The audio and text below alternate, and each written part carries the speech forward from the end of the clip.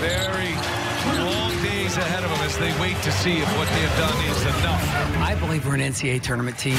We just ran into a buzzsaw with Michigan, but I don't think that undoes what we've already accomplished. And what we've done is we've won games away from home. We've beaten the teams that we should beat, with maybe one exception. And to go through that type of season where you have to win, I think we won eight out of our last nine. At the end of the day, if quad one is the holy grail, that's a tough deal. But I don't think quad one is the holy grail. There's there's top 100 wins in quad three. And so, you know, you just have to see where it goes.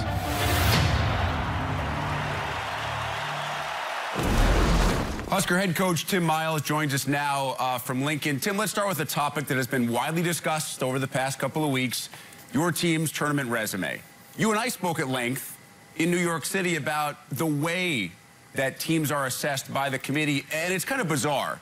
You lose to Michigan, which hurts you perception-wise, but Michigan goes on to win it, so your victory over them during the regular season becomes more valuable. It seems counterintuitive. Are we assessing this the right way? Well, here's what I know. We're in. That, that's what I know. I don't care what old Howie, what's his name, your bracketologist guy says. He's full of it. You know, I, I honestly think that that that we're in. I mean, I just look at so many things, and the first thing I look at is that a 13-win Big Ten team. There's been 61 of them. All 61 have been in. You, there's just no bad teams in our league. Nobody outside the top 135 of BPI. There, there's just you every game you have to play, you have to win.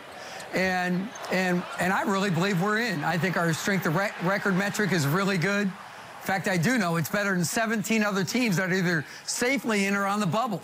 Um, I mean, I think we're way in.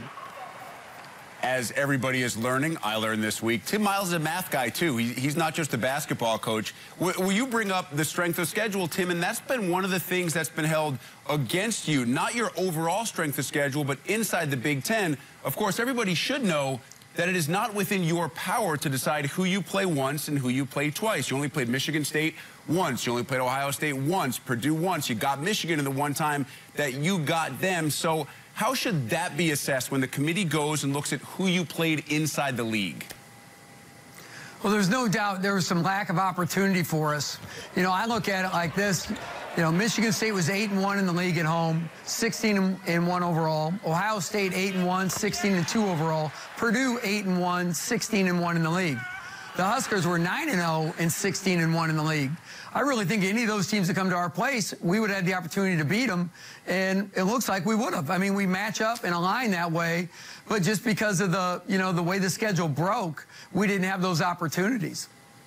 You also beat Minnesota early in the year, and this is a great then versus now debate because when you beat the Gophers, they were almost completely whole. They had Reggie Lynch. They hadn't been crushed by injuries, by suspensions. Then they go in the tank because of those things, and so your win becomes less valuable according to the quad one, quad two formula. Should the committee be assessing based on what happened at the time of the game as opposed to how it stands now?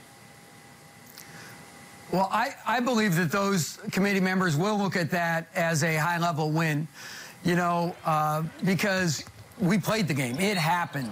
Now, that's not to say the same thing.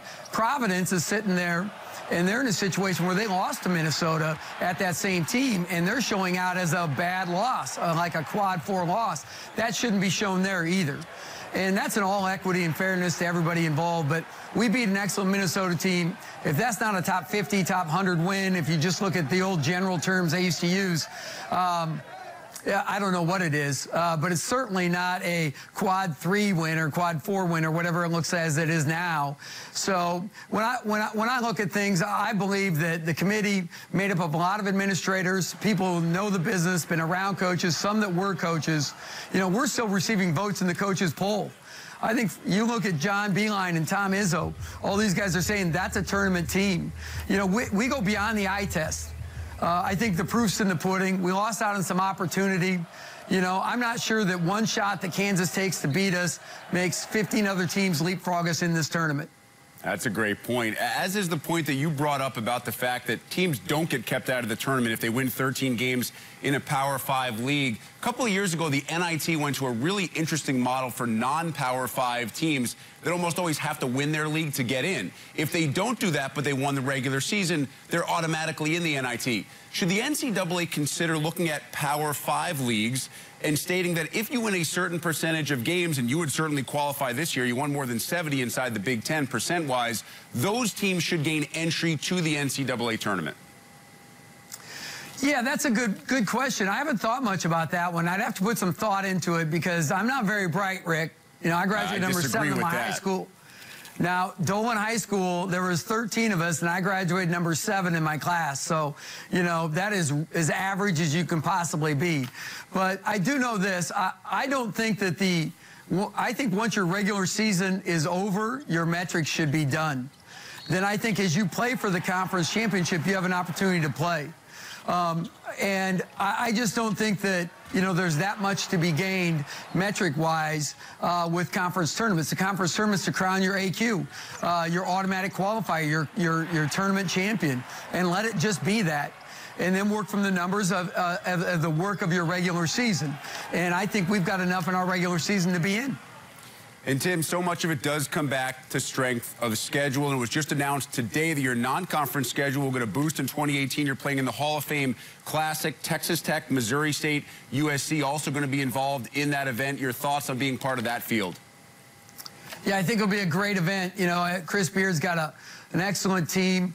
Uh, I mean, they're going to be really, really good. Uh, I'm excited about uh, being down in Kansas City. It's a huge uh, area for Husker fans. You know, the Royals have their own Nebraska Day, uh, which the, basically everybody uh, wears the Nebraska red, and uh, grudgingly the Royals allow us. So it, it's really a, a, cool event down there, and it, it's one that I want to be a part of with the College Basketball uh, Hall of Fame down in that area, and the CBE, the, the, the basketball experience right there too, the Hall of Fame Museum. I think it's be a, a pretty cool event for us. Husker head coach Tim Miles making a very convincing case for Nebraska's entry as an at-large team into this year's NCAA tournament. And a little birdie told me, Tim, that maybe, maybe not Pink maybe performing at Pinnacle Bank Arena tonight. if you happen to go, I'm just saying, if you happen to go, enjoy it. Thank you very much.